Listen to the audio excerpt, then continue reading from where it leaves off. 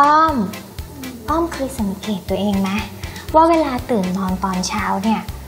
บางวันน่ะเราก็รู้สึกแบบตึงตึงบวมบวมๆรู้สึกอืดๆยังไงก็ไม่รู้ ทั้งที่เรายังไม่ได้ทานข้าวอะ เคยเป็นไหมเคยนะ บางครั้งอ้อมตื่นมาอ้อมรู้สึกอึดอัดแน่นไปหมดเลย ทั้งๆที่ทั้งวันอ้อมยังไม่ได้ทานอะไรเลย เป็นเพราะอะไรล่ะบุ๋มถ้าอ้อมมีอาการเหล่านี้เนี่ยนะ เรียกว่าอาการบวมน้ำหืมอา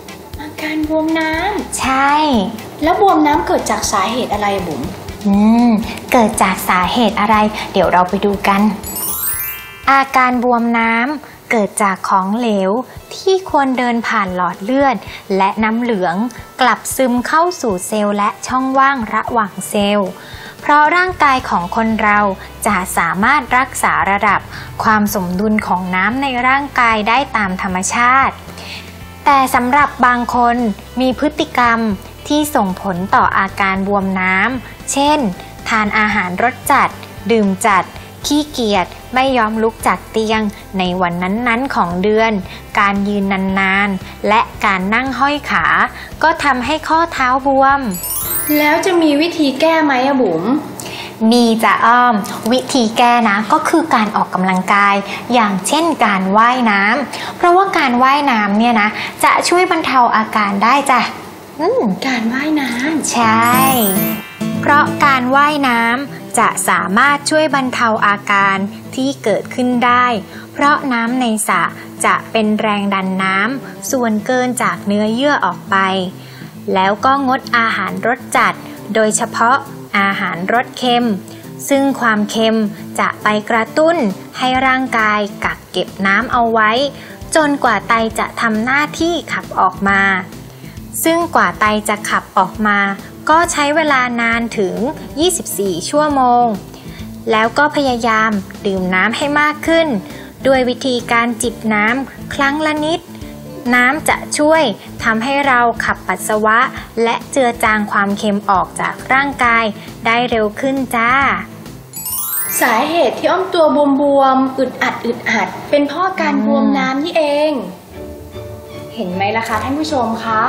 บางอย่างเป็นเรื่องเล็กๆ น้อยๆ เราอาจจะมองข้ามไป เพราะว่าเราไม่รู้ว่าเราจะต้องไปศึกษาค้นหาข้อมูลมาจากที่ไหน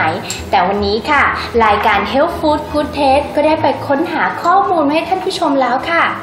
ค่ะคุณผู้ชมค่ะเรื่องสุขภาพเนี่ยไม่ใช่เรื่องไกลตัวเลยนะคะ คุณผู้ชมต้องดูแลเอาใจใส่อย่างจริงจังนะคะ อย่าละเลยนะ แล้ววันนี้ค่ะเวลาของเราก็หมดลงแล้วค่ะ พบกับพวกเราสองคนได้ใหม่ในรายการ Health Food Good Taste ค่ะ สวัสดีค่ะไปว่ายน้ำใช่ไหมไปอีกอินดี้ข้างบนเอาเก็บชุดไว้ที่ไหนอะ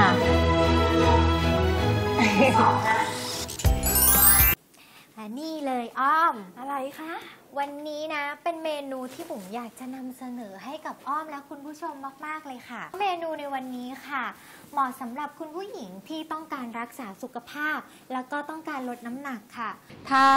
สำหรับฝึกโยคะง่ายๆ 5 ท่าสำหรับผู้เริ่มฝึกนะคะ เรามาเริ่มกันเลยไหมค่ะ โอเค